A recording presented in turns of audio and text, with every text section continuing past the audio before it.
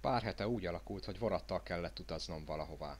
Na nem egy olyan nagy rendes mozdonyból és személykocsikból álló igazi vonattal, csak egy kis bézével, ami többek szerint olyan, mintha valami játékvasút része lenne, aminek, valljuk be, van is némi alapja.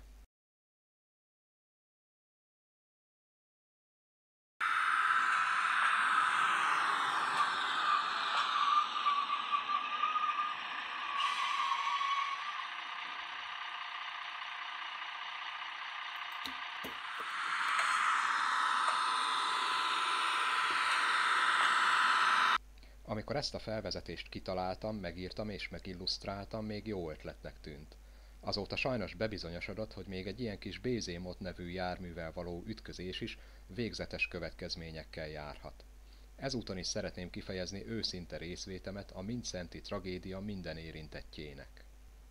De ott hagytuk abba, hogy utazás közben a pályához hol közelebb, hol távolabb, legalább négy-öt alkalommal őzek kisebb-nagyobb csoportjait láttam, és erről Péter Vollében könyve jutott eszembe, és az a kísérlet, amit velük kapcsolatban leír. Nevezetesen, hogy a Lipcsei Egyetem és a Német Integratív Biodiverzitás Kutatási Központ tudósai bükk és juharfa csemetéket vizsgálva egyszerűen letörték a fiatal fák csúcshajtásait, mire azok olyan hormonokat kezdtek termelni, amelyek a hegek begyógyulását segítik. Amikor viszont állattámadást szimulálva a hajtásokat lemetszették és a vágási felületre pipettából őznyálat csepegtettek, mintha ősz harapott volna a fákba, azok válaszul szalicilsavat termeltek, ami pedig rossz ízű védőanyagok képződéséhez vezetett, ami nyilván az őzek távol tartására szolgál. Ezzel bebizonyosodott, hogy ezek a fák és vélhetően sok más fa is még emlős állatokat is képesek azonosítani, írja Vollében, és én azt kérdezem. Mégis hogy lehetséges ez? Mi alapján képesek erre az azonosításra? A nyálban található valamilyen lebontó enzim, esetleg az ősz DNS-e alapján? Nekünk ehhez komplet biokémiai, genetikai laboratóriumra lenne szükségünk. A bükkcsemetéknek ezt nem kell megépíteniük, berendezniük és szakembereket munkába állítaniuk hozzá. Önmagukban és saját maguk végzik mindezt. Mi a DNS-t 1953-ban fedeztük fel, illetve akkor modellezték és írták le először a szerkezetét azok a tudósok, akik 1962-ben munkájukért meg is kapták a Nobel-díjat. Lehet, hogy a fák megelőzték őket? De ha a német kutatók megfejtették is a módszert, hogyan képesek a fák felismerni az emlősöket, számomra még mindig nem világos, milyen összehasonlító adatok alapján. Úgy értem, kiárulta el nekik az őzek DNS-ét, hogy azonosítani tudják őket. És különben is. A növényeknek nincs központi idegrendszerük és nincs agyuk. Hogyan képesek kigondolni, gondosan megtervezni és lépésről lépésre végrehajtani egy ilyen védekezési stratégiát?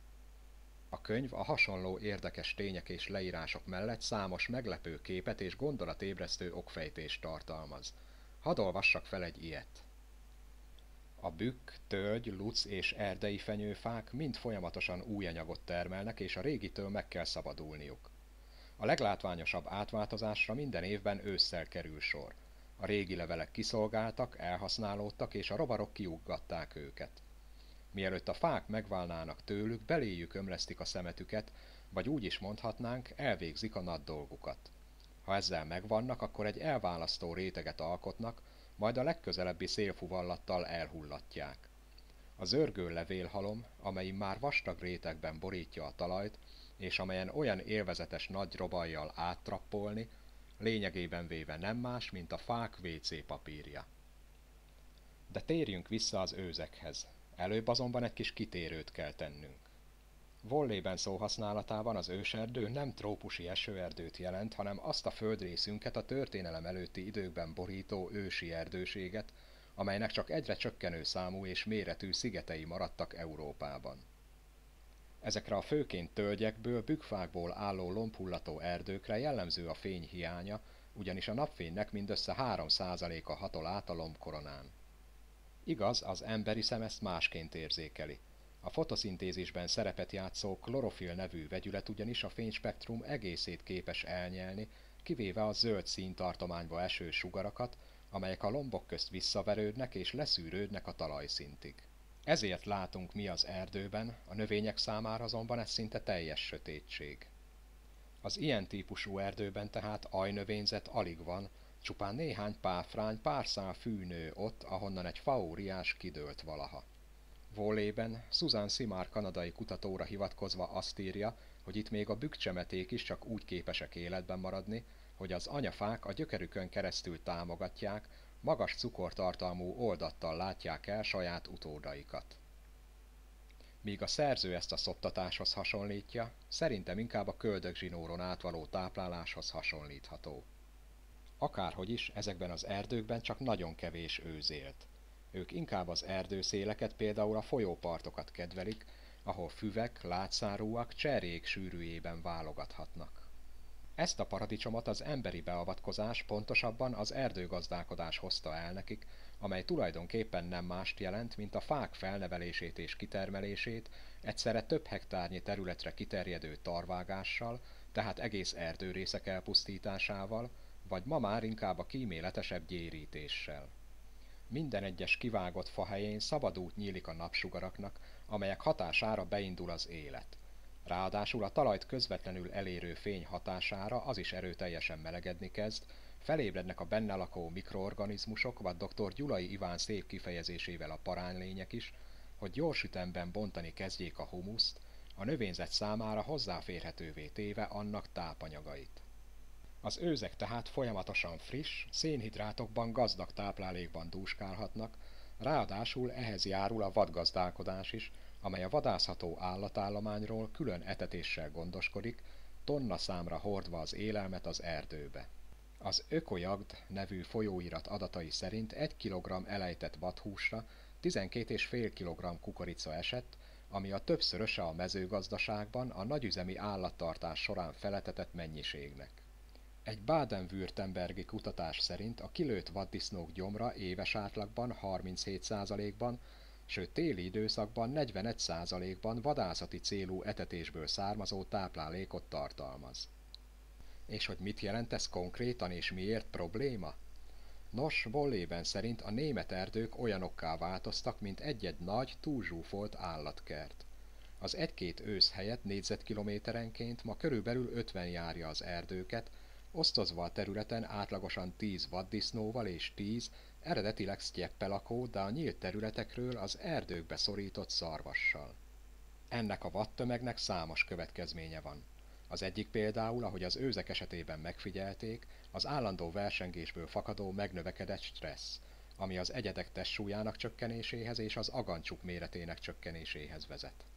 Egy másik következmény, vaddisznók a szőlőhegyeken, a kertekben, a berlini Alexanderplatzon, szarvasok a vidéki marhaistállókban és a madáretetők körül.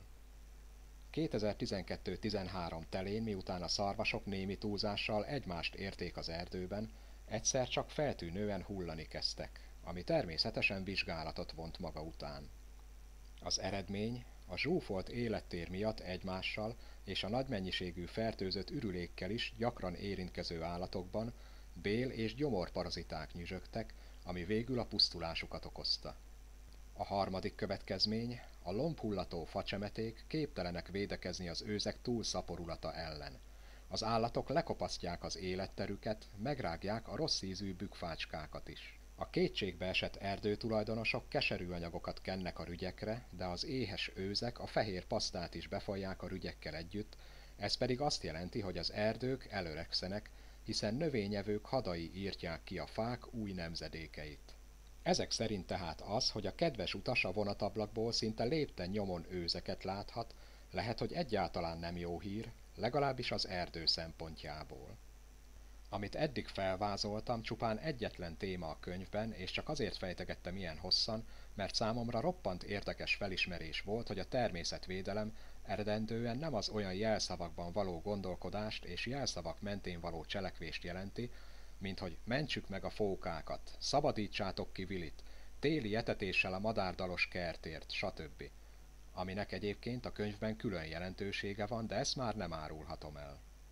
A természet ugyanis egy többszörösen összetett rendszer, egy olyan szövevényes hálózat, amelynek ha egy szálát bármelyik irányba meghúzzuk, megjósolhatatlan, hogy hány másik szál mozdul vele. A könyvnek egyébként külön kiemelendő érdeme, hogy mindezt nem rágja a szánkba, hagyja, hogy magunk értsük meg. Maga az olvasás a könyv hatása miatt most sem légített ki, érdekelt a szerző személye is, és azok alapján, amit megtudtam róla, még rokon szembesebb lett. Kiderült például, hogy gyakorló erdészként saját területe alapos ismeretében elkezdett az erdei fortélyokról szóló túlélő túrákat szervezni, és ezek anyaga tehát a hétvégéken elhangzottak szolgáltatták később az első könyvei alapanyagát. Megtudtam azt is, hogy évtizedek óta foglalkoztatja az önellátás, illetve a fenntartható, természetkímélő gazdálkodás, amelyről a feleségével együtt több könyvet is írt. És végül, mivel a nyilvánosan elérhető fényképei megnyilvánuló jókedv, bennem valamiért egyfajta Gerald Darelli humort idéz fel, már pedig ő számomra etalonnak számít akkor is, ha az úgynevezett magas irodalom vagy akadémiai irodalom nem vesz tudomást róla, Szóval mindezek alapján bátran ajánlom a könyvet, illetve a szerzőt is mindenkinek, aki hallja a hívást, aki bármilyen elhalóan is, de hallja a vadon szavát.